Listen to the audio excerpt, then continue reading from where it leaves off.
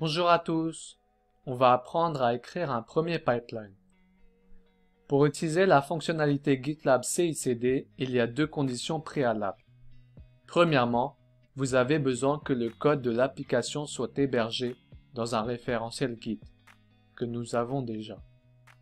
Ce fichier YML est ce qui crée essentiellement un pipeline qui s'exécute pour les modifications apportées au code dans le référentiel.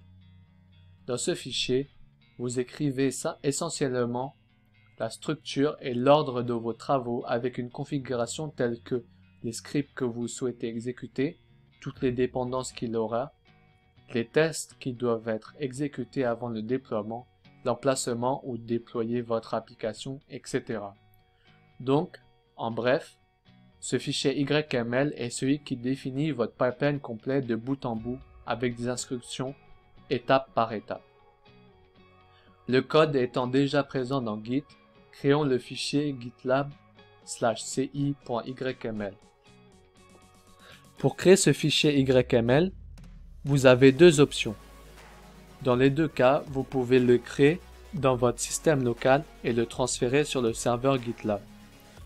Vous savez, comme nous l'avons fait lors de la dernière session pour hello.py en utilisant certaines commandes Git. Ou dans l'autre sens, vous pouvez le créer directement à partir de l'interface utilisateur GitLab. Eh bien, je suppose que la deuxième option sera facile pour le moment et un nouvel apprentissage pour vous. Donc, dans le tableau de bord du projet GitLab, je vais d'abord sélectionner une branche à partir d'ici. Cliquez sur le bouton Nouveau fichier. Et saisir soigneusement le nom du fichier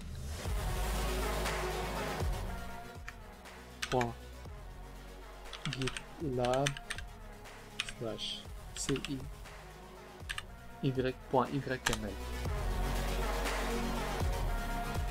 Ce nom de fichier est important car GitLab ne recherche que ce nom particulier pour trouver vos pipelines CICD. Sauf si vous n'avez pas modifié son comportement par défaut dans les paramètres. À partir de ces listes déroulantes, vous pouvez choisir parmi certains modèles par défaut pour vous faciliter la tâche. Nous allons l'écrire à partir de zéro. Toute configuration de pipeline commence par la définition des tâches. Ce qui est obligatoire et définir un travail commence par donner son nom en premier. Laissez votre nom de travail job to run de code. Job to run.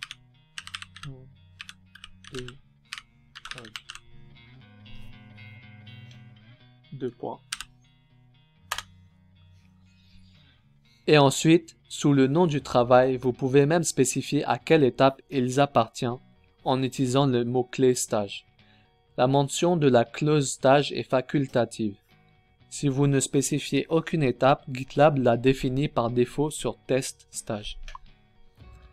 Il y a une conférence complète à venir dans le cours où vous apprendrez tous les détails sur la façon de définir les étapes quel est leur comportement par défaut et comment les ordonner. En continuant ce pipeline, je définirai le script qui doit être exécuté sous ce travail.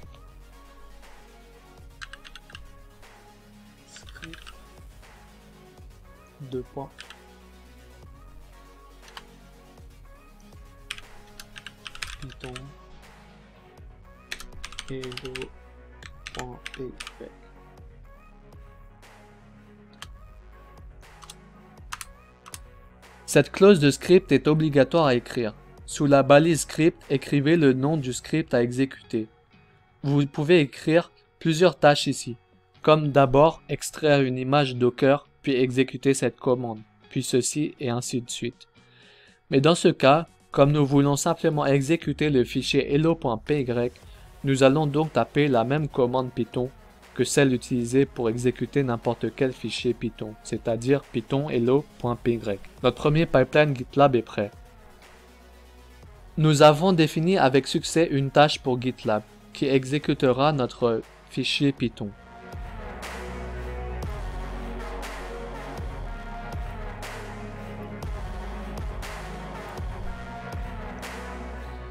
Veuillez comprendre pour ce pipeline, nous n'avons défini qu'un seul travail, mais ce n'est pas le cas dans le projet réel. Dans votre pipeline, vous définissez un bon nombre d'emplois et en fait, vous pouvez pratiquement créer un nombre illimité d'emplois si vous le souhaitez.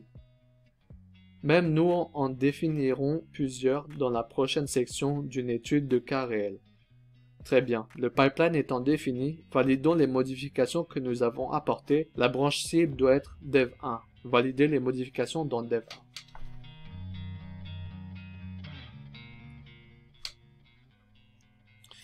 Vos modifications ont été validées avec succès.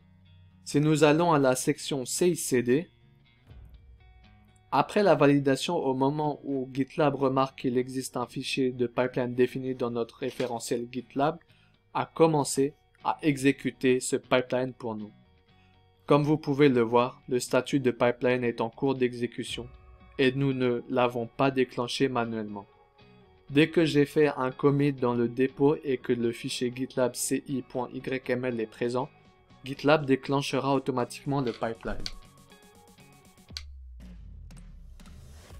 Un côté rapide, dans cette page, vous pouvez voir tous vos pipelines.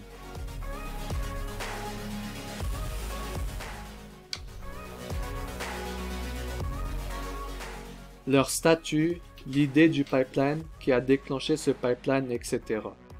À partir de cette barre de recherche, vous pouvez filtrer vos pipelines avec des options telles que le nom de l'auteur, le nom de la branche, les balises, le statut.